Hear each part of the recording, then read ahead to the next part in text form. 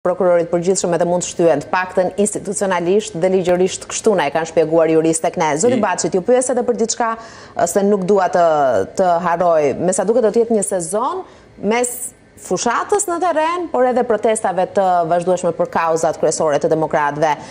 Sjellja e deputetëve në parlament, meqenëse e keni diskutuar edhe në fillim javë, meqenëse edhe socialistët e kanë paralajmëruar se demokratët këtë sezon politik do t'i kemi më agresiv Çfarë do të thotë? Si do të jeni më agresiv nëse flasim për jetën parlamentare gjithmonë? Shiko, ne në fakt asnjëherë s'kemi qenë agresiv, kemi qenë rezistent ndaj padrejtësisë që na kanë vënë përballë gjithmonë në parlament. Dhe më lejoni të kujtoj këtu sjelljen e mazhorancës me opozitën duke na mohuar çdo lloj të drejte në parlament deri tek dhe e drejta e fjalës, tek heqja e drejtës fjalës, tek kufizimi i minutazhit, bllokime nga më të paimagjinueshmet që mund të ndodhin vetëm në një parlament si në Korenë e Kim Jong-ut, se s'mund të ndodhin në një vend demokratik kandidat për Bashkimin Evropian anëtar të NATO-s. Parë në këtë këndvështrim, socialistët në qoftë se janë shprehur në këtë formë, absolutisht sipas asaj sjellje që do të bëjnë, do të kenë dhe kundërreagimin e deputetëve të Partisë Demokratike. Dhe unë kam mendimin që ne në parlament, ne nuk mund të lejojmë, unë nuk e quaj punimet e këtij parlamenti, nuk e quaj parlament normal dhe punime normale. Në momentin që ne vemi, hyjmë në parlament dhe kryetari i Partisë Demokratike, deputet i këtij parlamenti, vazhdon të jetë i izoluar politikisht nuk është një parlament që funksionon normalisht. Madje vetë parlamenti duhet të ngrinte zërin, jo vetëm deputetët e Partisë Demokratike, po dhe deputetët e Partisë Socialiste, po të ishin në lartësinë e duhur të një deputeti, duhet të ngrinin vërtet si shqetësim që një deputet i parlamentit, jo kryetari i Partisë Demokratike, në rastin konkret, po si deputet, mbahet i izoluar politikisht, pa akuzë, pa fakte, pa argumenta. Atëherë çfarë bëhet?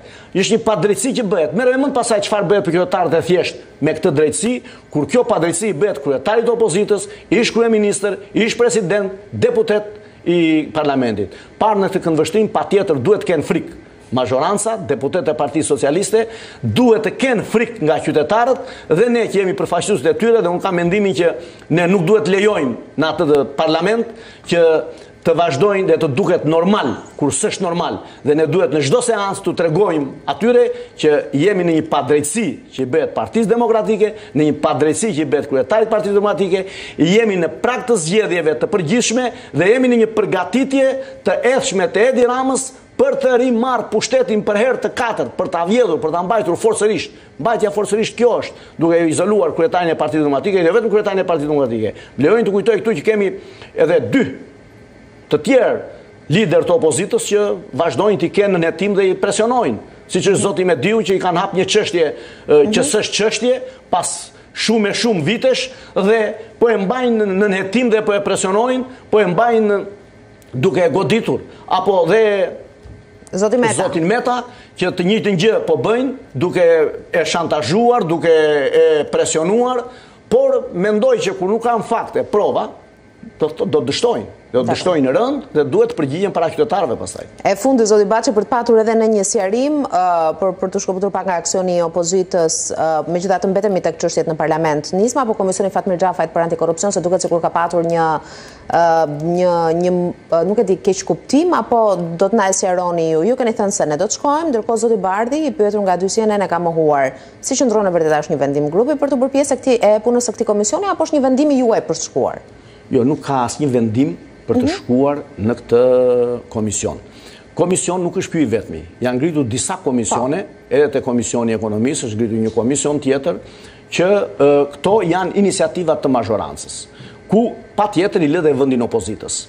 Parë në këtë këndvështrim, ka dy rrugë partia demokratike. Duhet t'i bojkotojë, bojkoti nuk është, absolutisht. Pavarësisht se në parim dhe në këndvështrimin e parë, këta komisione për mendimin tim personal nuk kanë çfarë të ofrojnë, për arsye se është parlamenti ai që mund ta bëjë këtë punë dhe nuk është e thënë që të ngresh komision brenda parlamentit për të riparë çështje nga më të ndryshmet në bazë të fushës që mbulojnë këto komisione, se duke parë që ngrihen dhe nga komisionet përkatëse, nga komisioni i ligjeve, komisioni që do kryesohet nga Xhafa, apo nga komisioni, komisioni i financës që është një komision tjetër, apo të tjerë komisione. Për komisionin, që në qoftë se quhet Komisioni Xhafa, patjetër që Partia Demokratike ka pasur një ndalesë dhe një kritikë se çfarë komisioni është, po. çfarë do trajtojë, çfarë do trajtojë, çfarë kompetencash do ketë, me çfarë do të merret, ku do të po. ndikojë, dhe Partia Demokratike ka qenë e tërhequr në këtë drejtim, me një diskutim që është bërë para disa kohësh në mbledhjen e grupit parlamentar, ka pasur diskutime të tjera, por në qoftë se komisioni vazhdon Mendimi im personal ky, në qoftë se komisioni vazhdon, ata vazhdojnë të vetëm dhe duke u lënë ato dy vende që lënë për opozitën bosh, unë nuk e di se çfarë të mire do t'i sjellë opozitës dhe Partisë Demokratike mos vajtja kur ne nuk jemi në gjendje ta bllokojmë ngritjen e këtij komisioni. Pra, ky komision do të vazhdojë se ata i kanë votat, e kanë ngritur, kanë caktuar tre deputetë, ngritën dhe vazhdojnë.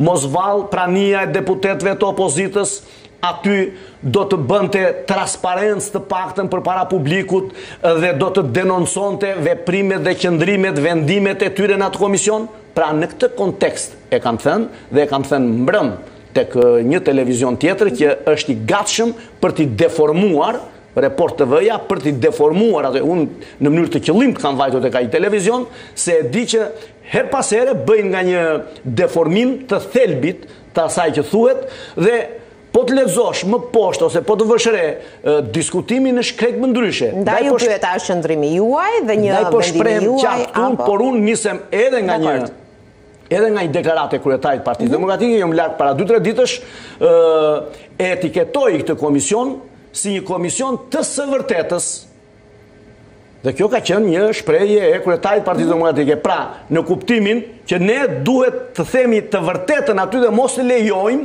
mos të lejojmë që ky komision në mënyrë të njëanshme të drejtohet dhe të vendoset te mazhoranca.